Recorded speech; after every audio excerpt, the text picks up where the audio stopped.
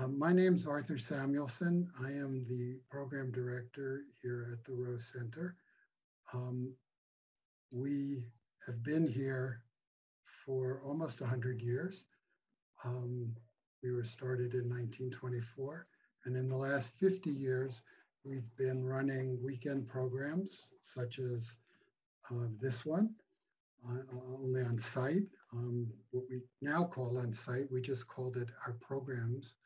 Um, we run those programs on spirituality, personal growth, all the creative arts, nature, communication, and social change, all things that we think go into living a flourishing life. And that's what we try to give people at all stages of their life. Of course, in the last two years, uh, we had our own challenge of how to do that and went online for the first time and discovered that we could do things in two dimensions that we couldn't do in three, um, like reaching people all over the world, engaging workshop leaders from all over the world. And because we could price our programs much less, much more, much less expensively and people didn't have to travel, it also opened it up to people for whom who would otherwise not be able to come to us. So it's been an exciting two years for us, um, a challenging one. Uh, nobody here has gotten COVID. We've made all sorts of changes to make sure that every that we and everyone who comes to visit us here are safe. Um, and um, um, and so I'm hoping Fia just uh, um, um, Fia is my colleague who's speaking from New Hampshire. Fia, why don't you wave hello? Fia is our host for almost for all of our online programs and for many of our in-person programs. Uh, she just posted in the chat the URL for um, Edward's upcoming program in two weeks, um, which this is meant to be a taste. Um, so uh, it is my delight and honor to be able to introduce you all to Edward Espe Brown. Uh, Edward began his Zen practice and cooking in 1965 and was ordained as a priest in 1971. He uh, is the author of the Tassajara Bread Book uh, and the Complete Tassajara Cookbook and No Recipe, He's the editor of Not Always, So, Zen Lectures by Suzuki Roshi. The most important point, a collection of Edward's lectures, was published last year, and he's the subject of a critically acclaimed movie, How to Cook Your Life. Uh, and he leads workshops on liberation through handwriting and mindfulness touch. How many, I'm just curious before I turn this over to Edward, um, how many of you know him through the Tassajara cookbooks. Yeah, how about that? Okay. Let's well, I'm, I'm offering you a different kind of treat. Edward, thank you so much for joining us. You're welcome. um, good after, good evening. Good evening. I'm in California, so I say to myself, good afternoon for most of you, good evening. If others are on, then um, we could uh, wish them other times of day, depending on where they are. Um,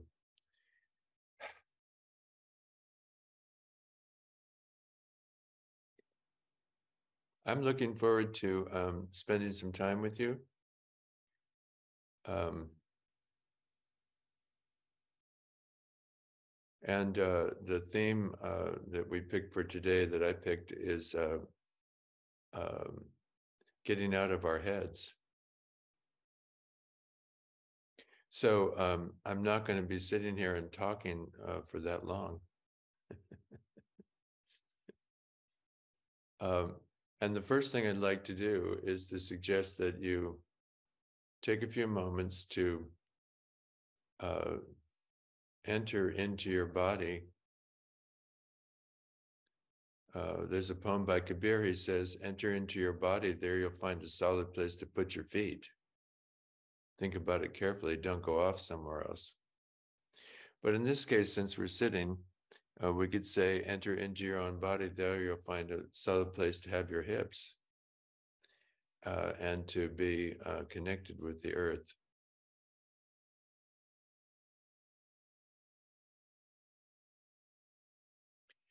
Uh, and generally, uh, to uh, you know shift your awareness from your head and your thinking uh, into your body, you need to move a little bit. So I often encourage people to lean forward and back and side to side. Uh, and when you move like that, then you can start to notice your hips. Uh, a lot of the time we, uh, you know, put our body someplace and we park it. We park our body and and then we're going to be busy meditating or doing something uh, in our heads. So right here at the start, if you take a few moments to begin to feel your body, and especially in this movement, uh, forward and back and side to side, you'll start to sense your bone. What is solid in your body? And you'll um, likely, if you're uh, giving your awareness to it, you can you'll notice your pelvis, the bowl of your pelvis, your hips, and you'll notice where your weight uh, is connecting with the cushion, the chair. And if you're sitting in a chair, you can have your feet flat on the floor and you can notice your feet and the bones of your feet. And you'll start to feel uh, quite likely, you know, when you start to notice your pelvis, you'll notice that there's the possibility of helping your pelvis find its ease and stability.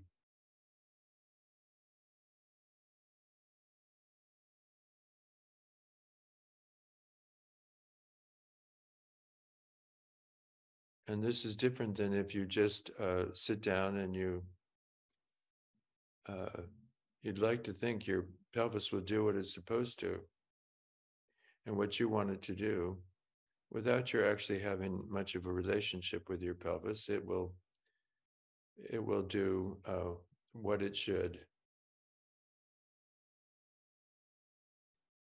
And you know, our way of being uh, mirrors the way of our culture.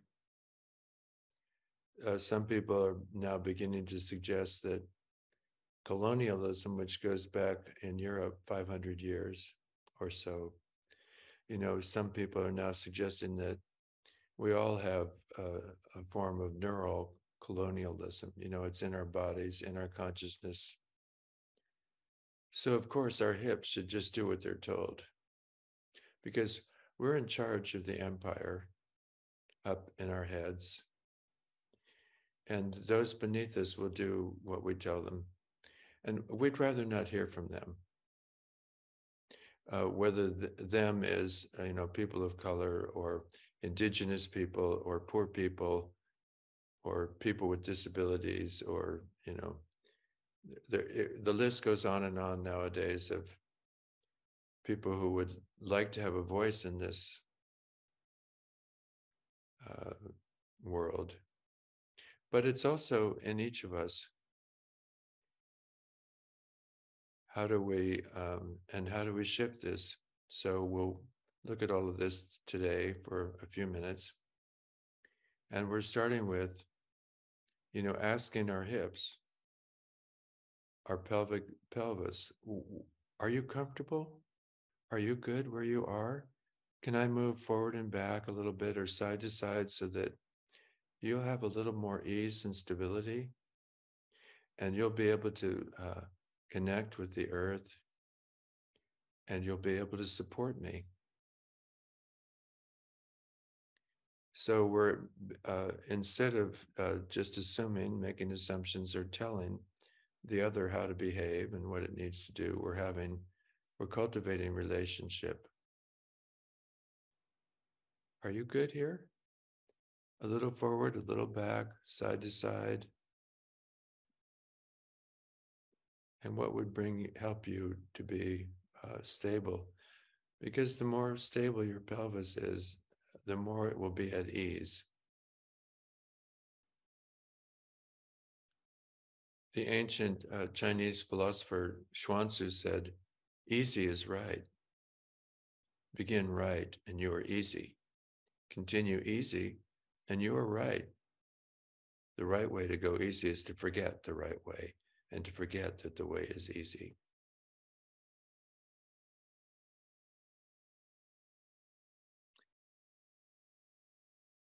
So once you've uh, established or found your pelvis and your hips, and you can, then you can connect or sense the earth that is supporting your pelvis.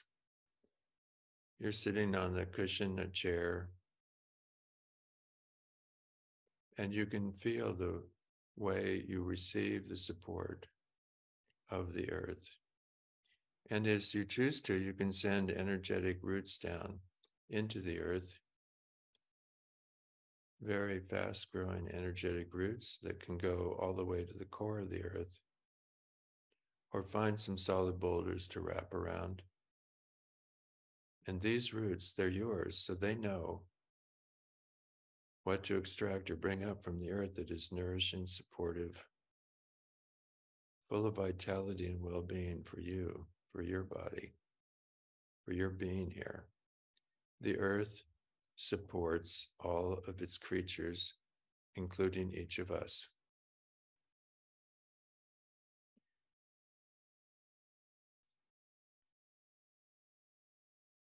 And you can feel the earth energy then coming up into the floor of your pelvis, through your pelvic bowl, into the abdomen, the lower abdomen, middle abdomen, upper abdomen, side to side, front to back. Nourishing, vitalizing, energizing your abdomen up through your diaphragm into your uh, lung cavity, chest cavity, Again, filling your chest with ease, joy, vitality, energy, sparkling warmth. Up through your shoulders, out your shoulders, into your arms and hands, up into your neck and head. And often again, a little movement as you feel this energy uh, bringing you vitality.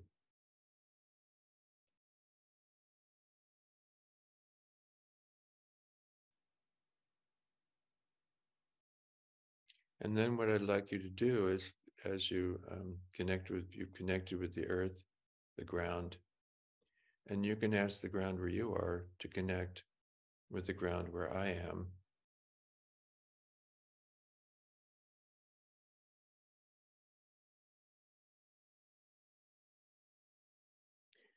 Uh, and this is again very curious, but um, you know, we each have our own ground and we share the same earth.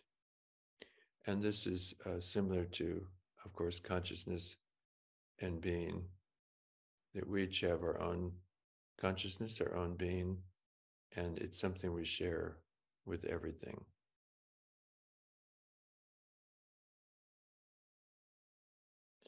So it's not just um, when we do this kind of uh, activity, it's not just, um, you know, an exercise.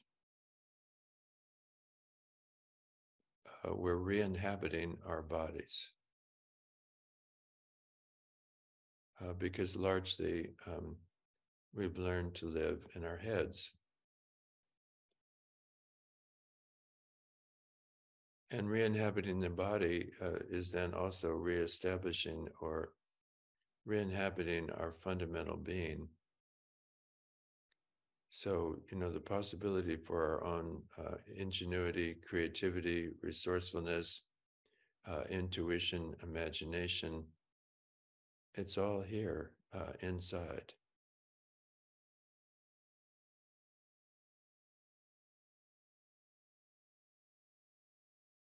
And it's not just a matter of how, how do I do this? I just go ahead and do it.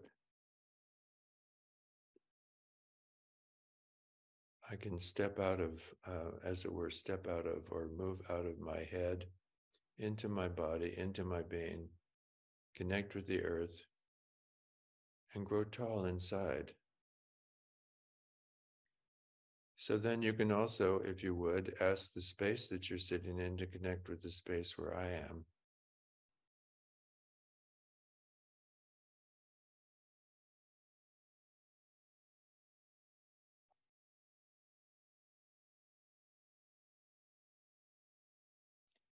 Uh, and we have this uh, way then of uh, connecting uh, with each other. Uh, you know, uh, so-called energetically, or so-called, you know, in spirit.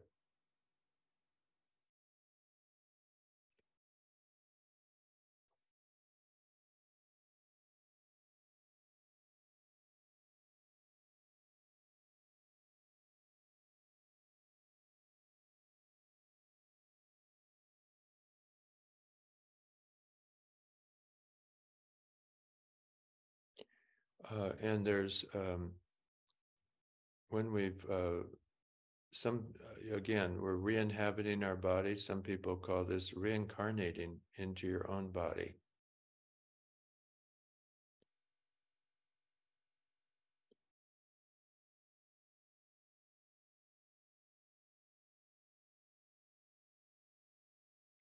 And so there's this uh, possibility that as a practice, you could um, you know, uh, embody, be embodied. And not just in your head, not just living in your head in the realm of thinking, um, but to be embodied. And from this embodied place, um, noticing the flow of phenomena, the flow which sometimes coalesces into things which we call people, which we call sensation, which we call emotion, which we call the world. And sometimes it's flow. And we can't exactly tell what's what. And just one degree or another, we're learning, uh, you know, to trust this flow of being which we're an aspect of or a manifestation of all of being. All of being appears as you, as me, as each one of us.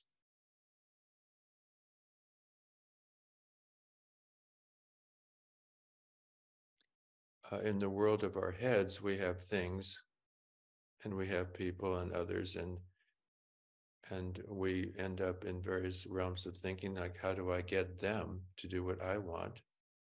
How do i get to myself to do what i want?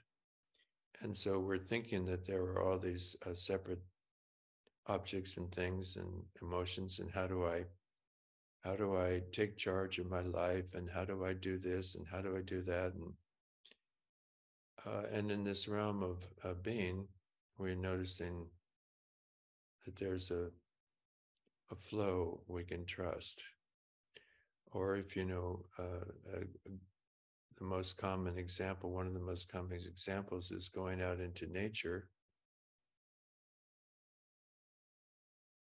And today, you know, uh, Earth, the Earth is um, kind of representative of nature. The Earth has its own uh, fundamental coherency.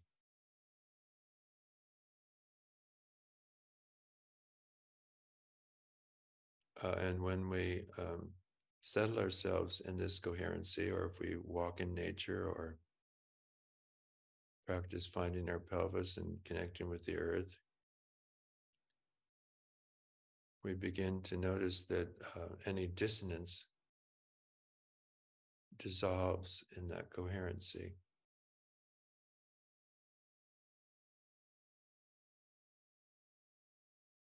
Uh, and from time to time, we'll find that other possibilities appear to us, not because we've thought of them or we've figured out.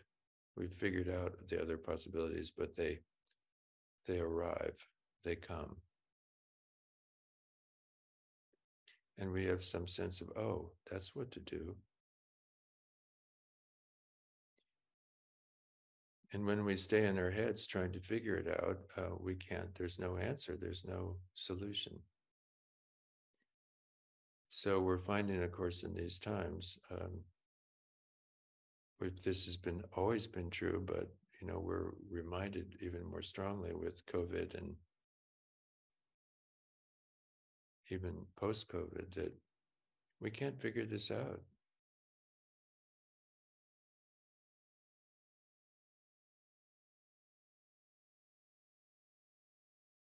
Um, but when we um, re-inhabit ourselves, we can find uh, we find ourselves doing something. So I'd like us to I'd like to suggest, and you know, um, this is a just a little bit of time, but I'd like to continue now with coming to standing, and I want to lead you in a bit of qigong because um, and you know I call it qigong, but uh, it's actually, uh, you know, otherwise known as Edgong, because um, I'm not certified to be a Qigong teacher. Nobody has said, oh, now you can teach our Qigong, you know, because everybody claims that Qigong is theirs. And most people who claim Qigong is theirs claim that theirs is the best. And of course, you wouldn't want to do a Qigong that's less than the best, would you? So do our Qigong, you know, and um, and take our classes and um, you know help us grow our uh, image in our business. but my qigong is free. It's on YouTube. It's called Ed Gong, and you don't have to pay anything. Um, and Ed, you know, and Gong is for you know the stuff that you do. So I don't try to do someone else's qigong. I just do my qigong. And so I'll share it with you, and then it can, can be your Qigong too, as you decide to do it or not. So, but it's a wonderful way that I found uh, one of the most effective um, to, and perhaps it's been useful. And by the way, at the very end, you know, if you leave soon, if you leave early, you can always invite your ground back to where you are and your space back to where you are and not leave it with me. You don't have to leave it with me. You take it back whenever you want. And at the very end, I'll have everybody do that. Okay, you got it. So uh, we're we're good so far. We're okay. We're we're coming along. If you need, we're going to go. I'm going to stand. I'm going to turn the camera around. I'm going to be standing. And if you need a you know water in or water out, you know wander off and come back as you're ready to do so. Okay. So we're good. All right. So I'm going to stand, and you all can figure out what you want to do, and I'll turn this around and.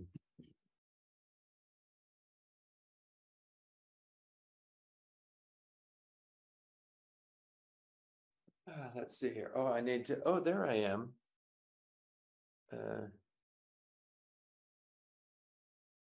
see, I think I'm going to um,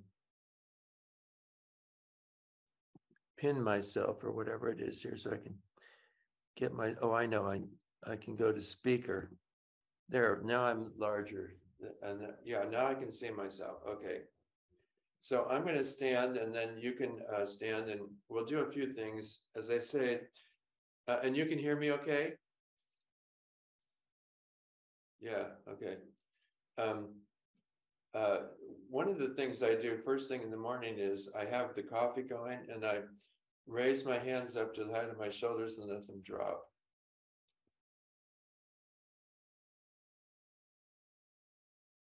And I do this for eight, 10 minutes. The people who do this uh, do like 40 minutes.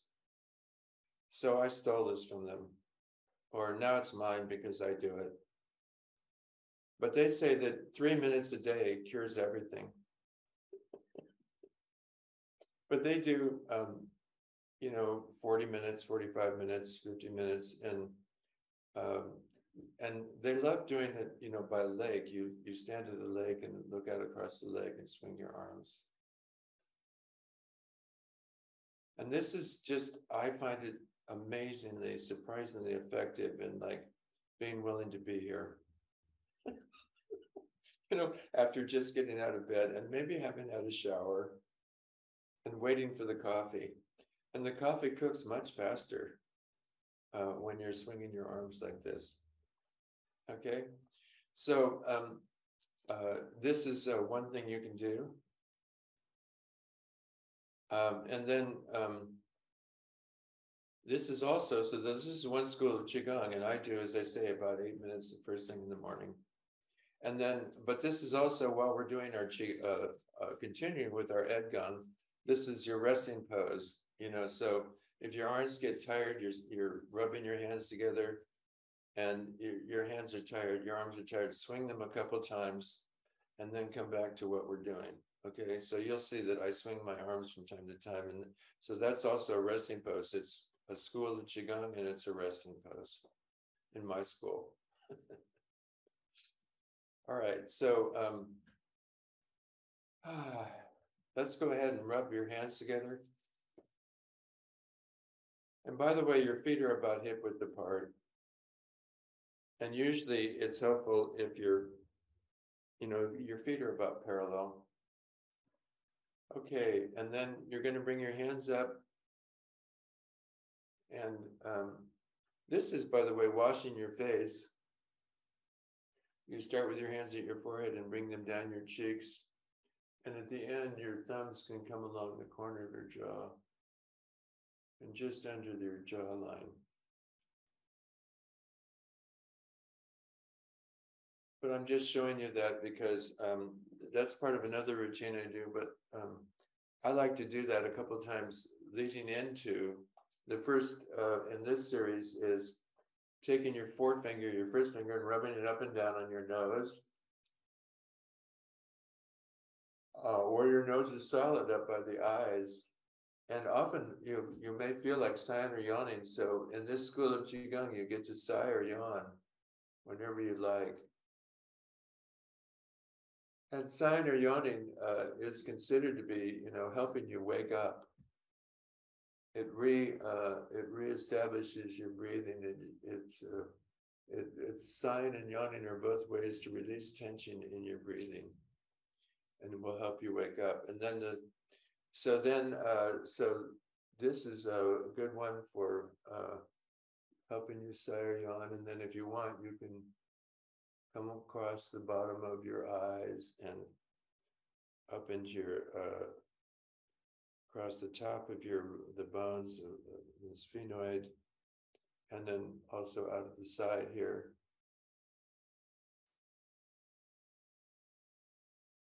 And then first finger back and forth on the upper lip right under the nose. This is a very important consciousness point I studied Qigong for a while, not Qigong, but acupuncture for a while, point right there. If somebody goes unconscious, you want to wake them up, put the needle in there. So this is uh, acupressure massaging, waking up point. And if you have a problem with cramps, which I have never used to happen when I was younger, but as I've gotten older, if you get a cramp in your leg or thigh or calf, foot, you take your thumb and first finger and pinch your nose there, and the cramp goes away. It's an amazing uh, point, anyway, just to say. So after uh, we've done this with each hand, then uh, one finger behind the ears, three in front of your ears, up and down.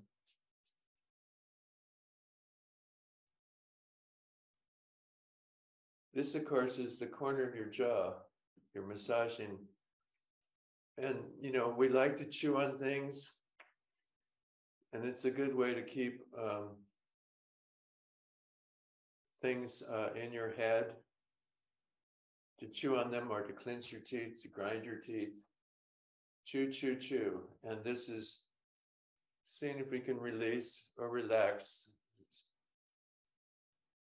And it's not like, you know, we shouldn't think about things, but if that's all you do, then you know that's a big limitation on your life. So letting go of some of that thinking. Okay, and then finding your arms and bringing your hand around your arm back and then up over your head.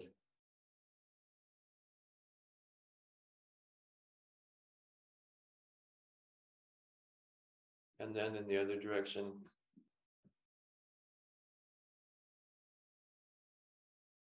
Some of you have probably done MBSR and when I took MBSR training with Jon Kabat-Zinn, he said, a lot of people, and when they first come do MBSR, you know, they get their arms up to here. And, you know, but you, you, you know, if you want to have the range of arm movement, you need to suggest, you know, see, like, can we do this? and it's, uh, again, this is a, you know, this is simple to do. One of my inspirations for Qigong is uh, Suzuki Roshi's uh, wife, Mitsu. She used to go into the courtyard at Zen Center and do Qigong every day, 25 times in each direction. In her 60s, 70s, 80s, 90s, she lived to be 102. And when she was 102, she could still move her arms. So this is a little bit like, um, you know, my ex-girlfriend who was a dental hygienist, she said, you only need to floss the teeth you want to keep. So you only need to move the arms that you want to have as you get older. All right. Um, excuse me for going on like this, but anyway, taking both hands and patting.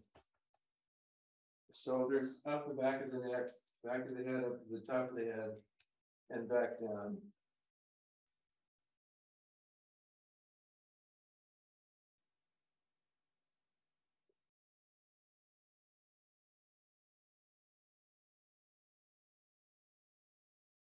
And wonderfully enough, and not surprisingly perhaps, but the arms and hands are intimately connected with your heart.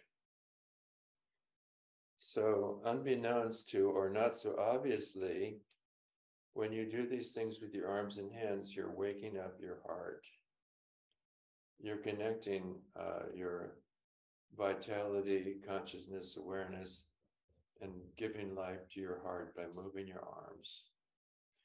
Okay, and then down the outside of the legs, patting down the outside of the legs, patting up the inside of the legs. Down the outside. Up the inside.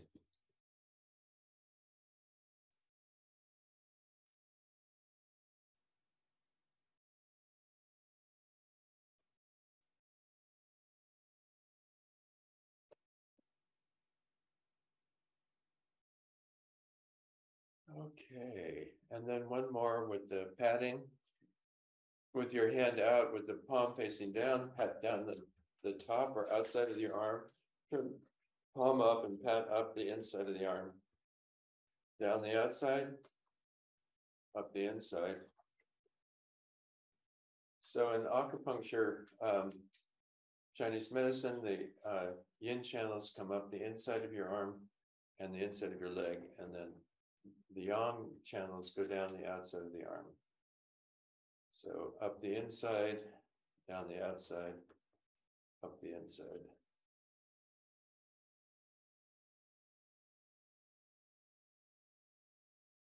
And swinging the arms, you'll notice that one feels a, a lot better. You just patted it.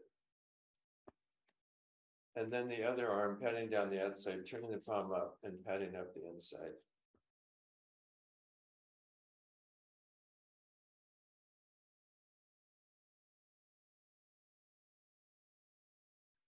This Qigong has a motto, you know, I mentioned you, you can sigh or yawn if you feel like sighing or yawning, but this Qigong is known as easy in the beginning, easy in the middle, easy at the end. And it's uh, the motto of the school is no pain, no pain, no pain, no pain.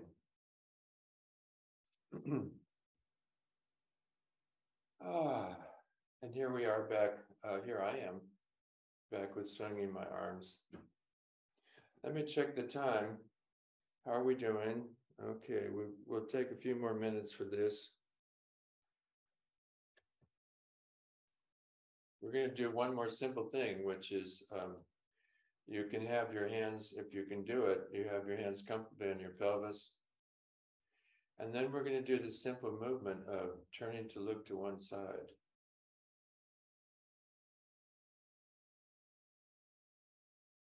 And bringing your head back to the middle and turning to look to the other side. And this is uh, an endless kind of study because we're very much involved in that. Are you are you busy giving out the instructions and directions to your head and neck? Get over there. Get back here. Go over there now. Do what I say. Follow the instructions. Do what you're told.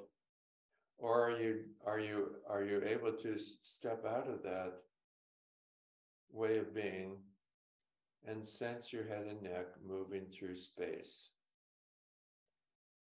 So to step out of your out of your mind, out of your head is to begin to just sense the sensation of your head and neck moving through space.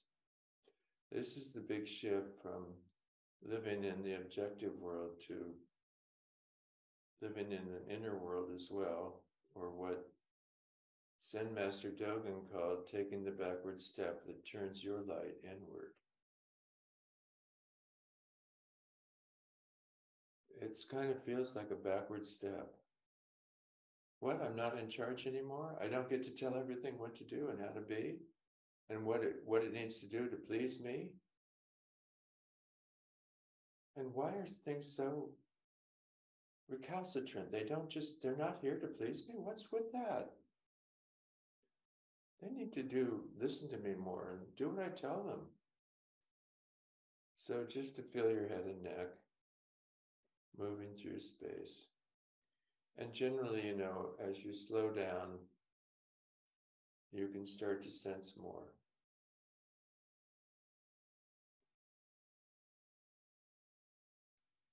And you can look around, uh, you have your eyes open, and you can look around and you can remind yourself this, this is today. In our head is all the stories about what happened. So whether it's uh, EM, what is it, EMDR, MDSR? You know, uh, I've done various therapies, and you you look from side to side. Now it's just part of Ed Gong. This is today. Thank you for surviving what you went through because now we're here today. So coming back to the middle, the second movement is looking up, looking down. Uh, and in my school, you we've added, you take your arms out, turn your palms up, stretch your arms back, and then lift your head up, inhaling, looking up, exhaling down. Your palms are facing back, inhaling, uh, palms are out and up, exhaling down. Inhaling, looking up, exhaling, looking down. So the rotational movement is about emotional body, flexion extension about the volitional body. What are you fundamentally here to do to be? and you begin to be in touch with that as you do these you know over time especially as you do these movements so finishing up with that the third movement this is by the way called the four ways the dragon moves its head so we're going on to the third way which is uh, a side bending. And it's just 60 or 70 percent of the movement.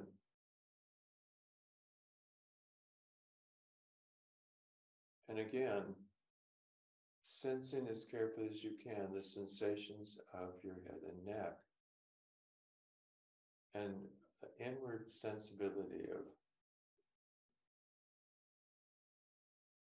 you know you're almost dreaming or it's a poetic imagination things can come to you you're available for connection rather than you're busy following the program or the agenda of get over here, get back there, now do this, now do that. That was wrong, that was right, that was good, that was bad. Keeping up a running dialogue of assessments. Thinking that if you got good enough at it all, you'd finally gain the approval of the invisible voices that are the authorities in your own head. Ah, well.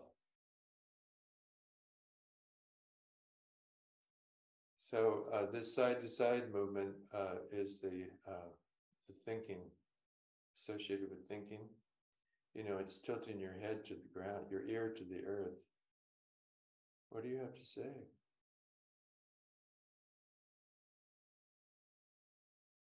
Coming back to the middle, and then the fourth way the dragon moves its head is uh, some a circle, so slow, easy feeling. Side, forward, side, back. And your head and neck aren't really made to move in a circle, so it's actually a little bumpy. If your feeling of this movement is smooth, then you're busy doing it rather than sensing it. Because you can do it in a smooth way. And with this kind of activity, if you feel like pausing, you can pause. And especially if you come to a place, you kind of come to a little bump. If you're gentle, uh, you'll come to bumps and then you can pause at the bump and then there you are, two years old, three years old.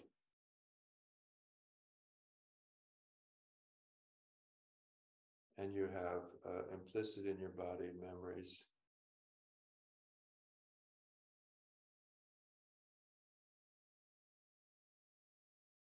And normally in our everyday activity, we're overriding, of course, the memories because you've got things to do. Okay, we're going to come to a pause, find a place to pause, go in the other direction.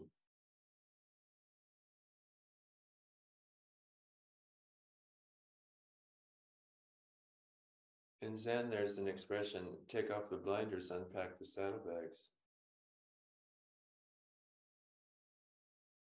So stop trying to get somewhere. See if you can be here. See if you can show up here and see what it's like to be here in your body in this place at this time with your body, with your mind, with your heart. Okay, and coming to a finish somewhere, bringing your head back to the middle, we're going to do one more uh, feet wider, a little wider apart for this. This is a version of uh, what's called the rainbow pose. And with your feet a little wider apart, you turn one palm up and rotate in the direction of that arm so it's behind you. And you look back at your hand and then bring it up over your head and follow it with your head and eyes up over your head, creating the rainbow and reaching out to the opposite side, coming down. A new hand in the back, palm up, comes up over your head, across and down. And you can reach out so that the movement of your arms and hands uh, leads to your whole body moving.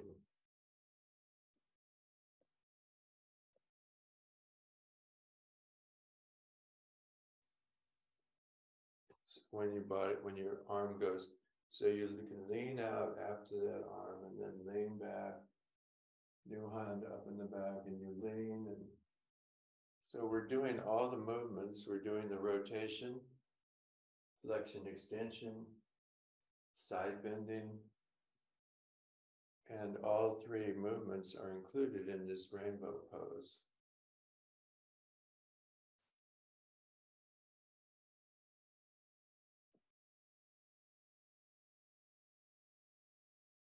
Okay, coming to a finish. So I'll tell you a poem by Naomi Shihab Nye uh, about this, uh, you know, how we're getting somewhere. So her poem is this is the uh, poem called The Red Brocade Pillow. Uh, the Arab side is saying that when a stranger comes to your door, feed him for three days before asking who he is, where he's coming from, where he's going. That way, he'll have enough strength to answer. Or by then, you'll be such good friends, you don't care. Let's go back to that. Rice, pilaf. Here, take the red brocade pillow. My child will get water for your horse. No, I, I, wasn't busy when you called. I wasn't planning to be busy. That's the armor everyone put on to pretend they had a purpose in this world. I refuse to be claimed.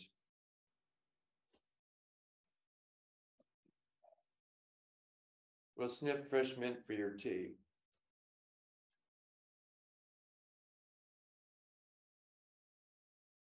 I, I think that's all I can remember at the very end. I refuse to be claimed.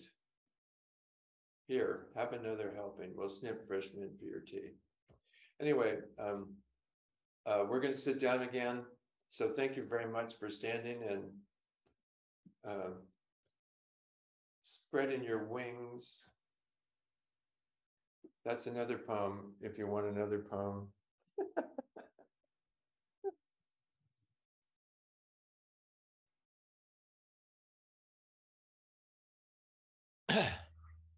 I decided to memorize poems, you know, because when you memorize poems, you have them in your body and not just in your head. And I like having things in my body and having my body be alive rather than everything's in my head. So um, I'm going to offer you another poem since I was just reminded of it in stretching my arms out. Uh, it's a poem, uh, Robert Bly's poem, what is sorrow for? What is sorrow for? It is a storehouse of barley, corn, wheat, and tears. One steps to the door on a round stone, and the storehouse feeds all the birds of sorrow. And I might say to myself, I say to myself, oh, go ahead, be stoic in the autumn, be calm, or in the valley of sorrow, spread your wings. so, um, anyway, um, thank you for spending some time with all of this. Um, and we have about 10 minutes left as far as I could tell. So I'd like to take a few minutes to see if there's some comments or questions observations, reflections um, that someone might be willing to share and bring forward with the group.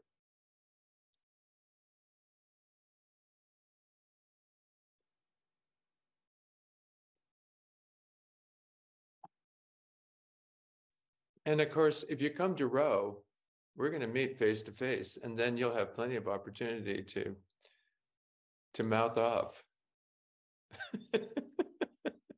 or or is it you know, expressing your truth.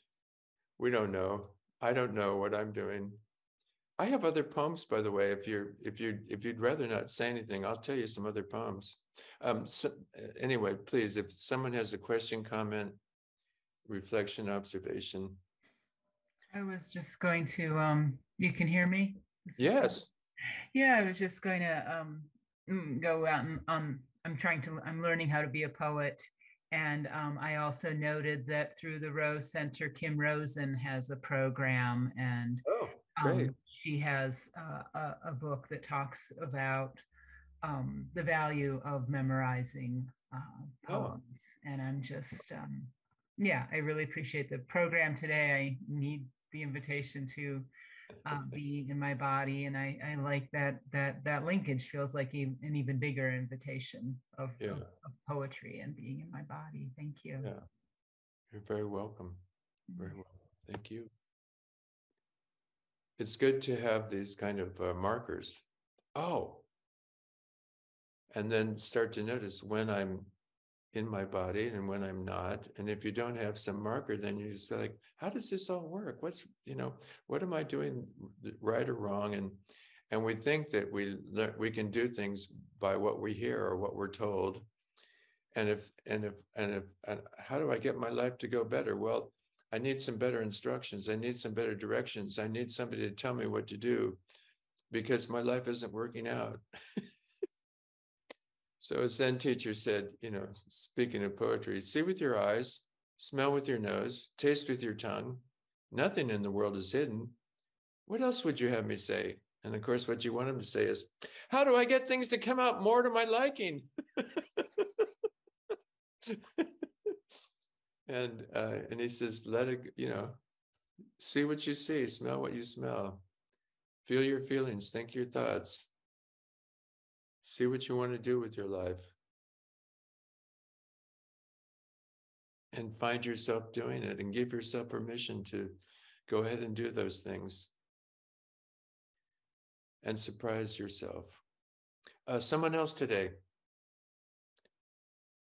Thank you. I didn't get your name. Was it Beth? Who just, uh, yeah. Okay. Thank you, Beth. Someone else? It's so, it's, I haven't seen you in over 30 years and, um, Oh my goodness. Who is this? uh, Sally Greenhouse. Oh, Sally Greenhouse. Good afternoon. Good Hi, evening. I- I'm in the middle of a virtual retreat with Gil Fronsdal. Oh, really?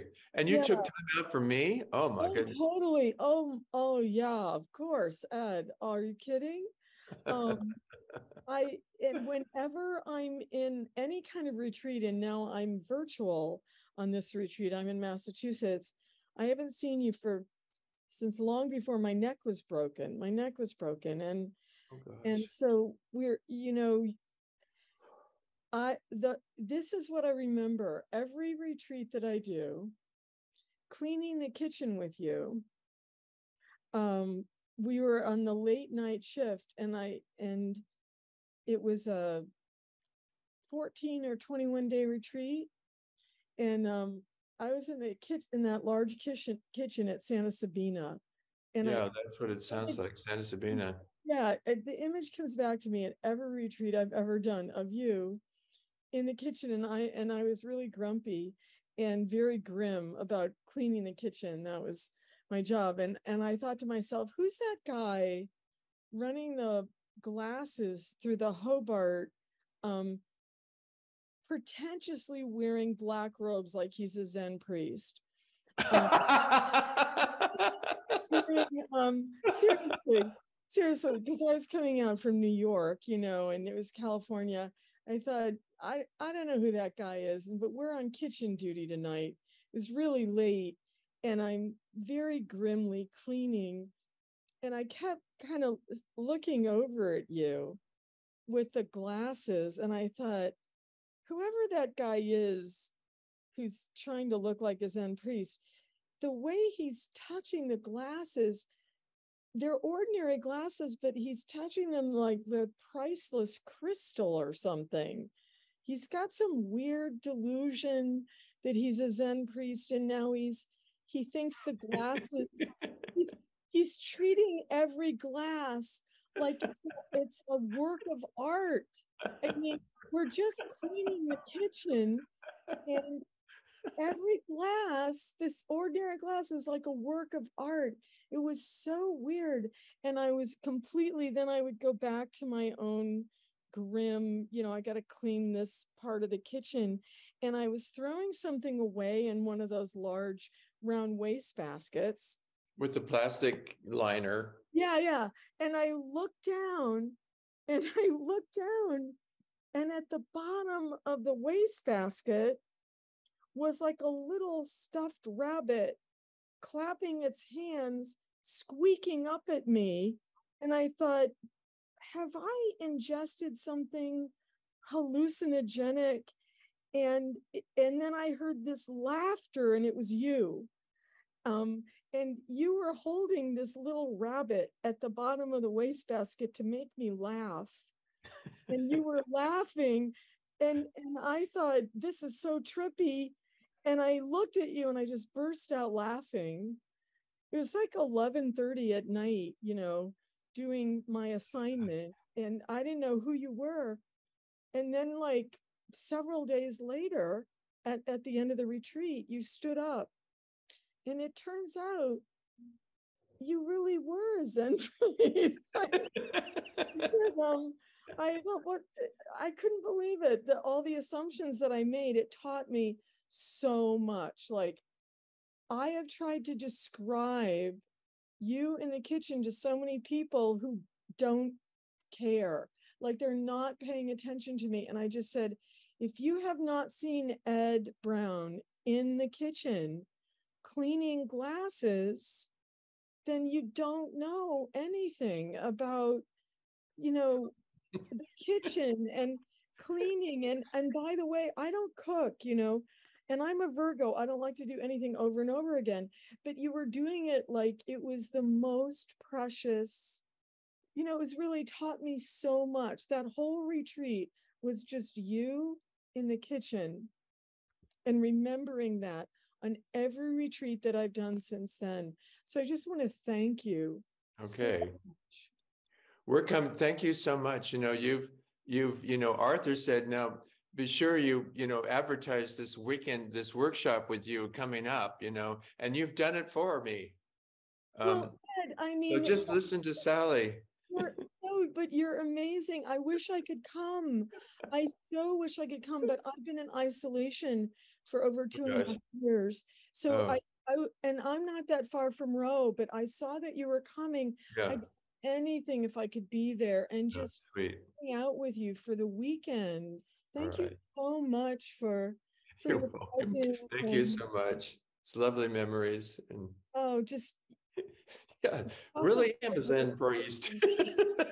and you really are a Zen priest. And there's, and I- I've got my, I got my guy up there, you know, I'm, I'm his disciple, you know, uh, Yeah, disciple. so- yeah, yeah, yeah. But I just, I would, I wish so much I could be there in person. I Okay, can't thank you. I'm going to miss you. All right. Um, we're coming to the end of our time, so one more poem. Uh, this is a poem by William Stafford. Um, you know, he's gone. Um, but William Stafford, of course, is most famous for, uh, you know, his his expression. Uh, he was interviewed one time. Mr. Stafford, I, I understand you write a poem every day, and he said yes. And he started writing poems when he was in a con- uh, not a concentration camp, but uh he was in a camp for conscientious objectors in the United States. Uh, and he started writing a poem every day. And so for years, he wrote a poem every day. And the interviewer said, How can you do this day after day, day in, day out? And you write a poem. How can you be that inspired day after day after day? And he said, I lower my standards. So uh, this is one of his poems. That's great. Um, uh, every day. Uh, tomorrow we'll have an island. Tomorrow we'll have an island. Before night, I'll find it. Then on to the next island. Places like this, these places hidden within the day, separate and come forward if you beckon. These places hidden within the day separate and come forward if you beckon. But you have to know they are there before they exist. There will be a tomorrow. There will come a tomorrow without any island. So far, I haven't let it happen. But after I'm gone, others will become faithless and careless. And before them will stretch the wide, unbroken horizon. Before them will tumble the wide, unbroken sea. And they will stare at the horizon, the empty horizon, without hope. And they will stare at the empty horizon without hope. So to you, my friend, I confide my secret. If you want to be a discoverer, hold close whatever you find. You hold close whatever you find, and after a while, you decide what it is. Then, secure in where you have been, you turn to the open sea and let go. Ah, so on you go to your next island.